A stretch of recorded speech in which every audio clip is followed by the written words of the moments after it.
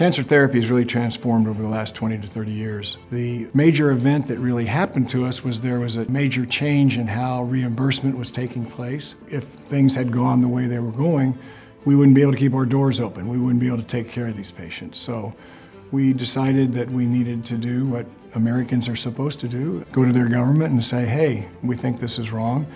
We would like to get this changed. It was the realization that we couldn't just be physicians and take care of our patients. We had to play the game, if you will. We had to do the business, we had to lobby in the capital and stuff, and that's what COA brought together. But I don't think there'd be community oncology treatment if we hadn't done it.